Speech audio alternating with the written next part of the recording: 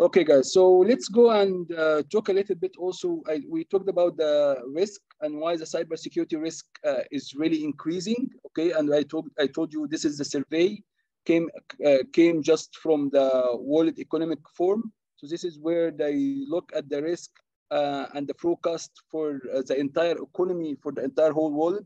And as you can see, the cybersecurity is one of the top list. So that means, inshallah, if you work in cybersecurity, there is a guaranteed job, okay? Because a lot of companies, they can see how risk is gonna, how especially cybersecurity risk is gonna impact them. And they wanted someone to reduce this risk. So this is a good news for us.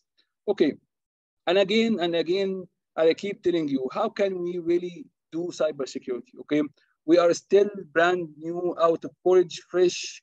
Uh, I would say uh, really fresh from out of college. I know that we have been months in this uh, in this course right now, so we are not really 100% fresh.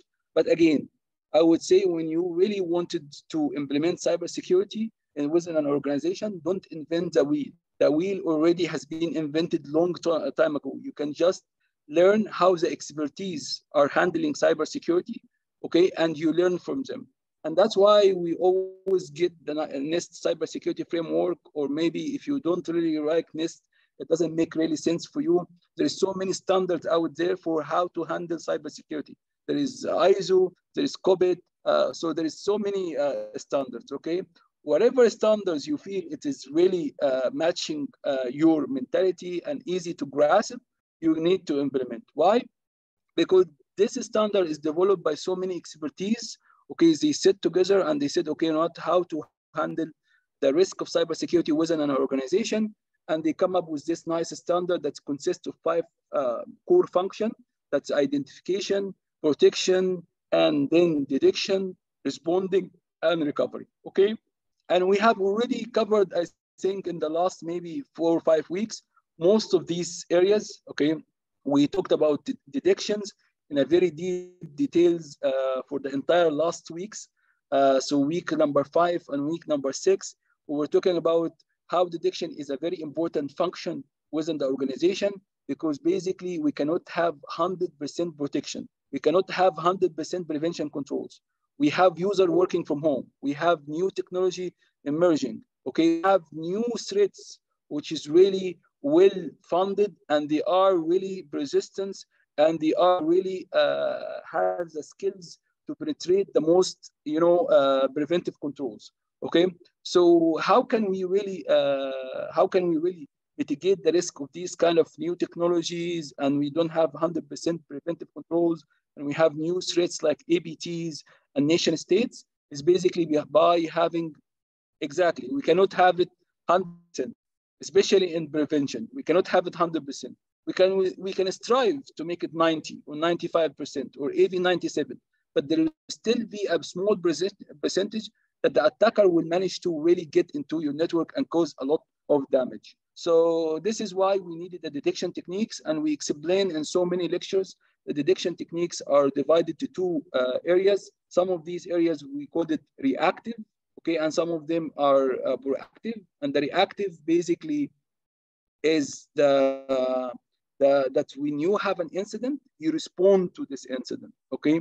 So you really need to have an alert jumping in your face, okay, according to uh, alert system to start to do something about it. So the detection techniques over here, guys, is basically divided to two big areas. The big area is incident hand, uh, sorry, uh, detections, the uh, reactive techniques and proactive techniques.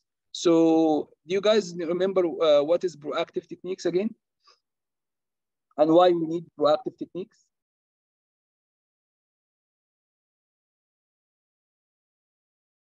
This is the five dollars question.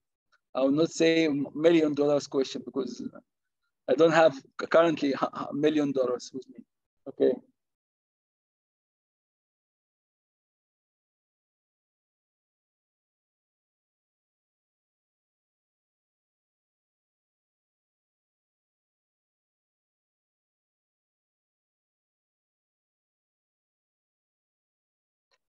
Exactly, for threat hunting. So proactive techniques is for threat hunting. Why we need threat hunting, Naif? This is a really, uh, this is really the, the answer here. Proactive technique is through threat hunting. So we are not waiting for uh, something maliciously to happen or we get an alert like reactive technique. We are going and after the threats. Why we need threats hunting, guys? Because we know we, we mentioned that there is some new uh, threats, which is we called it APT. They are really sneaky, and there is no, no uh, uh, breeds of malwares. It's not easy to detect. So we really need someone to go out there and have a hypothesis that I'm compromised, and then look for an evidence that has been compromised. Why? Because usually APT groups are really, really, uh, uh, really, really doesn't make a lot of traces. So you really need to look and for these specific traces and do your own analysis and come up with a conclusion whether we are compromised of one of these group or no. Okay, and don't think okay, you know, my organization is away from uh, uh, these APT groups, especially in Saudi Arabia.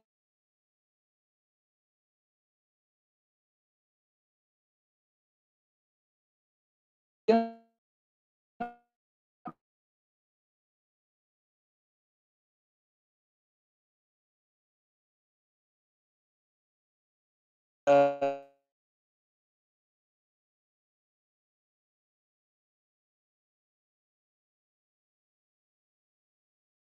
you are really taking like um, uh, what we mentioned before and this uh, war uh, lord a chinese warlord which is uh, called uh, uh,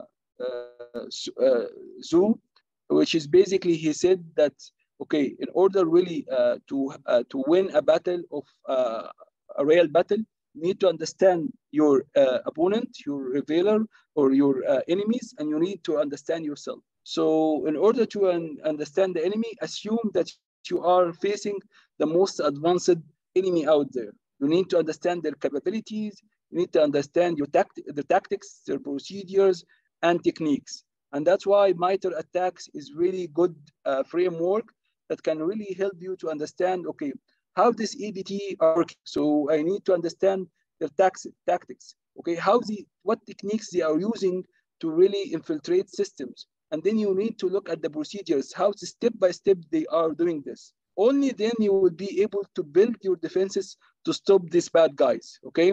And that's why MITRE ATT&CKS I mentioned so many times. It's really, in, uh, uh, uh, uh it's really uh, interesting uh, website that can teach you a lot, a lot about the attacks and how the threat actors they think and how they penetrate systems. Okay, so for example, I just give you an example. So if we are really worried about the Iranian guys or the nation state Iranian guys, APT 15, okay? So let me see what is the APT 15 is capable to do, okay?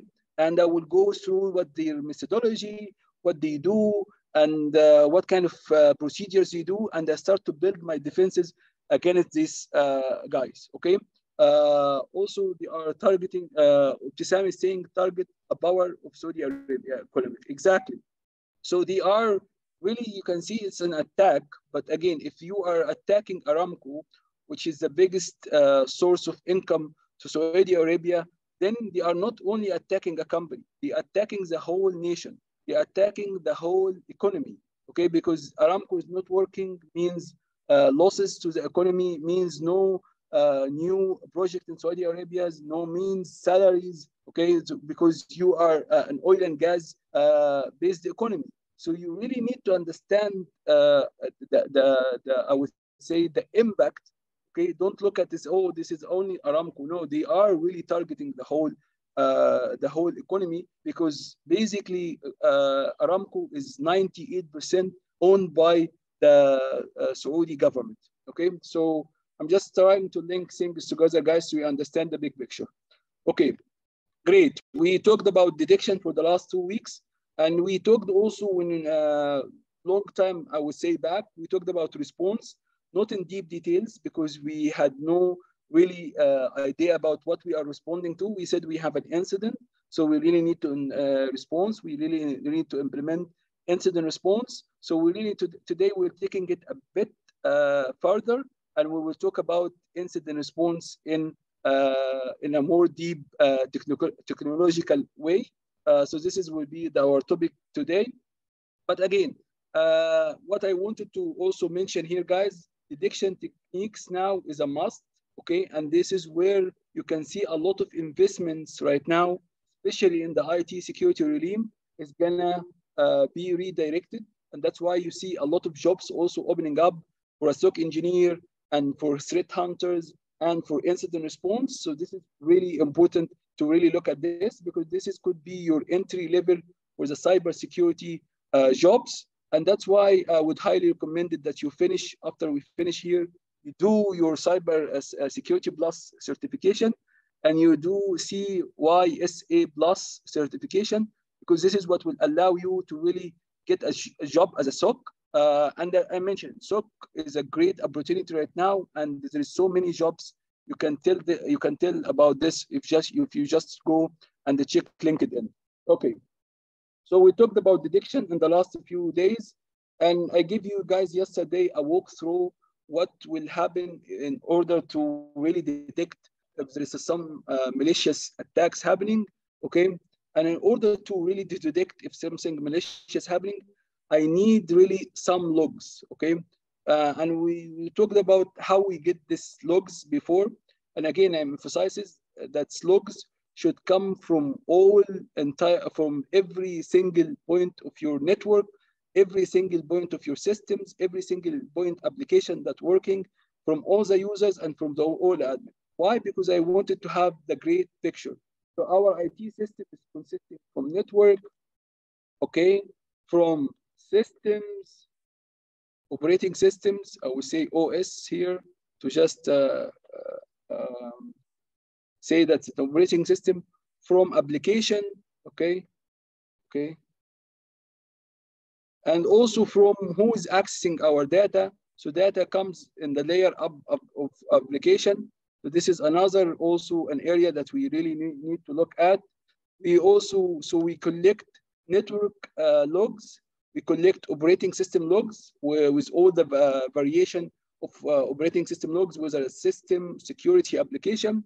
We look at the application logs, your database logs, your web application logs, your mail server logs. This is also an, another important aspect. We look at the data access, who would access the data, the data is encrypted or no. So this is also logs that we should get all, uh, from. We look also at the logs coming from our endpoint protections because this is will allow us to see if the machine has been impacted by a virus or maybe the quarantine assemble uh, file that they don't know if it's harmful or no. So this kind of logs will give you an indication. You also get the data uh, feeds from your routers, switches, firewall, IPS and IDSs. We have seen that uh, from uh, proxy servers, we have seen how proxy server yesterday highlighted to us that some uh, users are really uh, looking into website which is really seems malicious. Okay, so these kind of things, guys, will allow us. Uh, we, also yesterday we talked about the DNS logs is important also to understand what kind of uh, uh, what what kind of resol uh, resolution that your uh, uh, client is trying to uh, reach the DNS and ask the DNS questions. So all this kind of logs is important. We collect these logs. Okay, we cannot leave these logs in one machine and then jump between machine to machine to look into these logs because this is will not be an efficient way and will take a lot of manpower and then we'll still have no big pictures. Okay, so we mentioned that we have already a, uh, a system called SIEM, Okay, and the SIEM is basically uh, uh, a solution that it exists right now in the market and it's gaining a lot of momentum, especially in the last 10 years, okay, with SIEM collecting all these logs, you know, and the SIEM will start to aggregate these logs and then it start to normalize, uh, normalize the, the, basically the logs to be in a certain format and then it will start to correlate between logs to create cases and to send you an alert if some case is happening and then finally to store these logs in and index these logs in one storage. So it's easy for you to search and find anomalies within these logs. And this is what will give you the full picture about the network. And we seen yesterday that we have already some logs from your uh, firewall, some logs from the web proxy, some logs from the machine packet capture itself. It allow you uh, to, to really study what happened in the network and maybe take, take a sample of the mis, uh, malware and start to analyze it later on. Okay, guys? So far, so good. Any questions?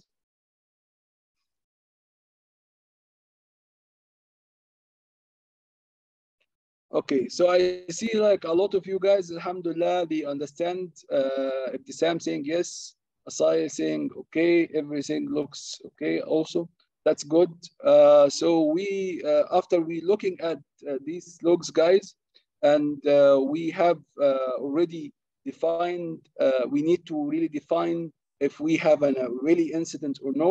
Okay, and this is what I told you before, that you really need to have the trained SOC engineer that we can really distinguish between events and incidents because event is any uh, any observer thing or any observer logs coming from your system, it's called event. So for example, if you someone log into his machine, that's an event.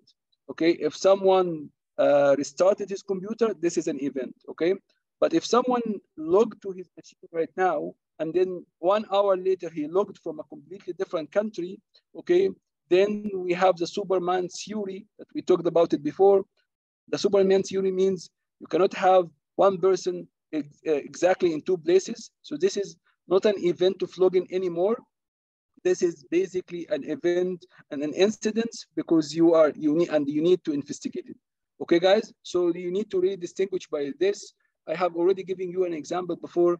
Someone is trying to access uh, a certain files within a, a directory okay and i said what is the difference between uh, and he was trying to access files in apache while the organization have an iis so i said this is also not an incident because with a small lock okay he's trying to access this file and your server saying it doesn't exist okay this is not an incident and you really need do no in, further investigation because basically he's targeting uh, some something else so, um, so this is not an incident. This is just another event. So you really need uh, someone in your network as a SOC engineer who really understand the assets and what kind of technology you are using within the organization or the corporate environment. Okay, so again, this is very important. And this is again, uh, when you're doing an incident handling or incident response, you need to be calm, okay? You need to be rush. You need to take a decision without uh, you know informing everyone uh, because why because basically uh, if you do rush decision you can really destroy the evidence okay and destroy the incidents or even alert the attacker that you are into him in the incident. So you really need to be calm, take a proper action. So for example, if I I know an incident, a malware happening in one machine. If I go to this machine, okay, and I know the attacker is on this machine already, halas. Okay, if I go to this machine and I started to run netstat, you know, if I started to run ping commands, I start to trace route, I will start to, you know, do something in the computer, the attacker already monitoring the, these computers. So now I'm telling the, the attackers, I'm here, I can see you, okay? And now the attacker will try to pivot his attacks to somewhere else. Okay, so you do really need to really alarm uh, alarm the attackers about what's happening, and that's why when we were talking about how to gather uh, the processes within uh, one computer, okay, I told you guys you need to run this over the network. okay, so you really need to run this commands over the network. So for example, this is a machine that's I know it's been uh, compromised or been attacked. Okay, so this is a machine being attacked. I'll give it X. Okay, I will not go and here and sit over here and start to, to grab uh, processes, service, network states. No, I can do it from my remote location. If I wanted to see all the connection coming from these machines, I can say, you know what, let my IDS get all this, uh, you know, network traffic or let me uh, watch my firewall and get all this network traffic. Okay, I can run a command here that will run remotely in this machine and get me all these processes running here without being sitting physically on the machine and doing the stuff. So this is important. Why? Because you don't want to tell the attacker, I'm here, so the attacker will pivot or move to another machine. Okay, so this is important when you handle any incident to be calm and to be really wise about your uh, your your move so you don't destroy the evidence. Another uh, if, if, uh, another thing that I have seen before, that's when people are really uh, uh their computer being hacked. okay, I'll do it. Thank you. Um, okay, so uh, in order in order to do this attack, guys, sorry, in order not to destroy the evidence, make sure that you follow the also the digital forensics process that we talked about yesterday. The digital forensic process in a very simple uh, mean, guys, is just you need to really extract the most volatile data first. Okay, if you don't do this, you will lose the most uh, volatile data, and that is uh, very precious data. You cannot really have it again, especially if you start. I seen people in the situation when uh, they are really panicked that their computer under attack, they took the power off, or maybe they restarted their computer. They think this is will, you know, will stop the attack. Yes, it will stop the attack, but it also will destroy the evidence. Okay, so you really cannot really see what happened in this computer at that time. So that's why it's another thing that we really uh, need to understand that incident happens and we really need to be wise and calm when we handle the evidence or we responding to our evidence, okay? Uh, okay, so we said this, uh, so what kind of incidents we can see? there is a malware, there's botnets, there's exploit kits. We'll talk about exploit kits later on, inshallah, uh, in two weeks when we start to talk about, uh, you know, uh, uh ethical hacking, inshallah, in this course. Ransom attacks happening, denial of service, distributed denial of service. Uh, you know, you have hacktivism like Anonymous, you have zero days vulnerabilities, you have web defacement or like uh, someone change it your web. yeah, exactly the group of kids, right? No, they are not kids. This one is uh, they're not kids. They can make a, if they are look look.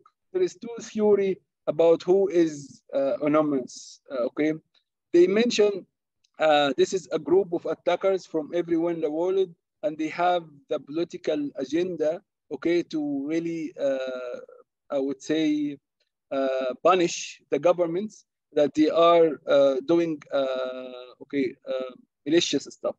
So um, so this is what is hacktivism is all about. Is okay. I see, for example, a conflict between Israel and Palestinians. Okay. Uh, so if I see this conflict happening, and I know for sure that uh, you know the Israeli are crazy and they are killing people left and right without no rights. Uh, so that uh, the, I will attack the Israeli uh, government website. I will take them down. Okay, I will punish the government and somehow. And they have done this in so many cases. So this is a good thing, I would say. Okay, but then the way to really do it, okay, is not the proper way. It should coming from you know from uh, from the world uh, country leaders uh, it's not gonna be coming from a group of hackers, but unfortunately, we live in unfair world, so uh, we we see a lot of unfairness right now. So anyway, I'm not gonna go to political uh, disputes, but I'm again hacktivism is as hacking for agenda, and they have their own agenda. But sometimes I feel like they are being uh, be, being part of also a government. Okay, so uh, because they are sometimes they get involved and some cases they don't get involved even if there is a conflict. So why we don't see, for example, anonymous right now are attacking Russia, okay? Even though there is a big, uh, you know, uh, big conflict between Russia and Ukraine. Okay, let's see the Russian is the aggression, aggressions. They done the first aggression, so why they not attacking Russia? Okay, maybe the uh, Ukrainian, yeah, this is what I'm saying. I'm saying they are a little bit bias. Bias, bias mean they taking sides. So how come they taking sides if you are working as the groups who see the real truth and support the, the rights of people? Okay, why don't you take a side in this conflict? Why? Okay, let's say Ukrainian the, the, the, are the crazy. Let's assume this, okay? So why they didn't, uh, uh, you know, attack Ukraine? Okay, so this is kind of question that comes to my mind, and I feel sometimes you are not hundred percent, uh, you know, the the most uh, fair guys in the world. So it's just just is just an, a, a, like an idea, okay? But again, so the whole idea here, guys, that we eventually will have an incident. And uh, again, if you guys remember the, the, the, the, quote I have yesterday from the FBI, okay, they, there is a company that they, they know they are hacked, okay, there is a, and another company, they don't know they are being hacked. So you, there is a breach will happen uh, eventually, whether you know about it or whether you don't know about it, it will happen, okay? So better you get really, uh, uh, really uh, uh, a better response if this is happening. And that is the whole idea here behind incident response. So the breach is happening, is gonna happen eventually, okay? So better we are really getting ready and really have all the tools to respond and we are prepared for it, okay? If you have a good plan, exactly, you will implement this plan, uh, plan in, in a very uh, professional way and you will, eh, you will be able to uh, minimize the damage of the incident. So for example, if I'm worried about, uh, for, for example, if I'm worried about flooding, okay, or if I'm worried about denial of service attacks, I will do something about it, okay guys? So uh, I will prepare my, you know, my contacts. I can call, I have my the number of uh, maybe the service provider that I can tell him that I'm under uh, I'm under attack now right now. Help me. I maybe I will put my website in a different geographical location. So if one if the area is attacked, the other area is not attacked, and then I can redirect my user to this uh, other area which is not attacked called this CDN network. Maybe if I know this is will happen anyway, maybe I will implement uh, load balancer so it can load the balance between 10 or 15 servers all around the group. So it will not really impact me uh, in the same way if I have only one server. So this is all, guys, is uh, uh, uh incident response procedures that you really need to uh, implement when an attacks really takes place. Okay, so we talked about what is the difference between event and attack and, and, and incident, and we have explained most of them with examples. So there is no need to keep talking about this event and incidents. Okay, and but then I just got to you guys a couple of quotes uh, about what is incident is from uh, ITIL, which is a very well uh, big organization when it comes to certification in IT world and becoming a manager in IT. And also I got the definition also from an incident when it comes to ISO 27. We have already talked about what is the incident definition when it comes to uh, NIST so let's look at these, both of them, and both of them are very close to each other. Okay, its uh, incident uh, is, uh, is defined as any event which is not part of the standard operation of a service and which causes or may cause an interruption to or a reduction in the quality of this service. So anything that can really interrupt my service or any event that can interrupt my service, remember when we talked about NIST uh, definition for incident that's anything that can cause potentially harm to our confidentiality, integrity, availability. It's very, it's very close to this, okay? Very close to this meaning, okay? So the incident here is in any event that is really can impact our day-to-day -day operation and can cause a disruption. So this is the definition. So the day-to-day -day operation, I have a website, I have clients coming to this website, I have these clients are buying stuff, you know, uh, getting stuff uh, checked out, and then this stuff is shipped to them. So this is, this is the day-to-day operation. If I have a denial of service attack, then my user cannot reach my server. This is means this is a disruption for standard operation. And that's basically an incident. Okay, so this is one, uh, of, one of the examples. Okay, if we looked at the ISO over here, guys, this is the ISO definition. Any event which is not part of standard operation of a service and which cause or may cause an interruption or reduction the quality of the service. So the basically the, uh, the incident um, uh, incident uh, incident definition in, uh, uh, for ITIL and for also the ISO 27 is almost uh, is almost the same definition. And again, you know, the day-to-day operation for me is to sit in his in my computer as a, a sales team accessing a certain application, and I'm uh, I'm really uh, waiting for this application to create to generate a report about my sales. Okay, but if my computer does have a malware and this malware caused the computer to start multiple times or started to really uh, react uh, very weird on my computer and started to steal my data. This is not part of the standard operation. And this is caused a disruption to my day-to-day -day business. This is also considered a business. So whether you consider the NIST uh, uh, incident definition or the ISO 27 uh, definition, it's, it's good, okay? Why I'm keeping emphasis on this, because basically you can be in the interview and they will ask you what is the difference between an incident and an event. So you should be able to really, uh, first of all, to define what is event and to define what is incident and give them a real uh, example of an incident so everyone understand that you really understand the whole topic. Okay, guys? Uh, so when incident happens, okay, it's um, it can impact or may affect your organization, your customer, okay? Uh, so why we need to manage the incident is basically we must be uh, able to manage uh, the incident in order to limit the damage. So this is most important thing. If I have denial of service attack guys that's lasted for two, three hours, that means I am out of business for three hours. Okay, so I wanted to really limit the, uh, the damage. So if I can really make this three hours to half an hour or maybe 15 minutes or even maybe five minutes, this is much better than three hours out of time.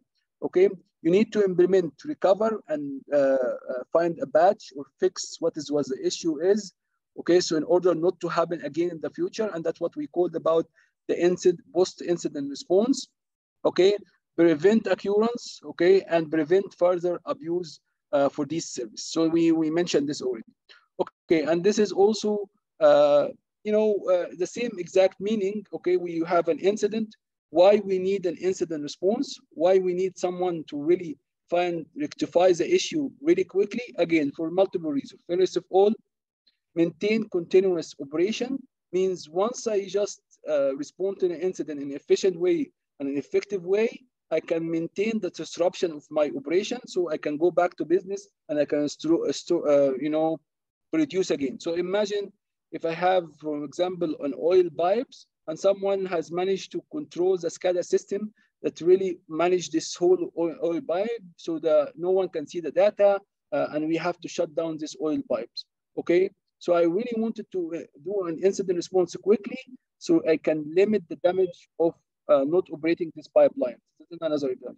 It uh, also uh, mitigate revenue. So if my pipeline is not doing the jobs, I'm really losing revenue. So I really need to go back to work in order to get uh, back my like my revenue back. Respond with speed and agility. Uh, here means that uh, you really need to be uh, prepared for the incidents and have all the tools to respond quickly and uh, with agility. So you have multiple solution to solve the issues. Maintain uh, uh, continuous operation, we have already mentioned. Mitigate revenue loss. So this is also something. Mitigate fines, because sometimes if you are under attacks and the attacker manage to steal end customers' data, they can really go and start, uh, you know, start uh, uh, or sorry, start law cases against you because you didn't protect their data. And sometimes also the government itself will give you fines. In so many cases, we have seen about uh, if you have a single data breach in UK specifically, you will get up one million, uh, you know, uh, pound fine. So it's important also to avoid fines if the uh, if you if you if you are able to respond quickly and uh, in agile way. Uh, so this is also um, will, will, will mitigate a lot of these fines and lawsuits. Okay guys so this is why we need to do incident response. Okay what are the steps of incident response okay so the steps for incident response is um, uh, six uh, stages incident response okay you in, in some books you can find them five and some books you can find six. So they are anyway in NIST publication they are five. Okay, but five or six they are doing the same exact stage, and we really need to. I will not say memorize because memorize is a really bad word. I don't like to say memorize, but I would like to say that you really need to understand, and you really need to be able. Uh, Uh, okay, so Sahar is here, guys. Uh, she need to talk to you guys. So I will mute myself and I'll give the stage to Sahar. Okay. Uh, thank you, Mr. Shady. السلام عليكم جميعا. Uh, وعليكم السلام. Um, معلش آه، عبير تسوي باز ريكوردينج that بوسيبل يعني.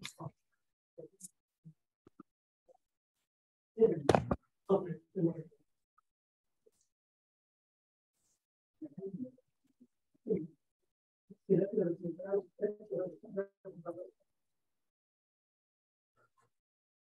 Hi, Sahar. Are you here, Sahar? Yeah. Okay, so Uh, you wanted, uh, okay. Uh, uh, you wanted Uh, to talk to students? Yes, I want to talk to students, but um, I don't want uh, that to be recorded. So could you Oh, please okay, just so pause I'll- the recording? Okay, I will pause the recording, no problem. Uh,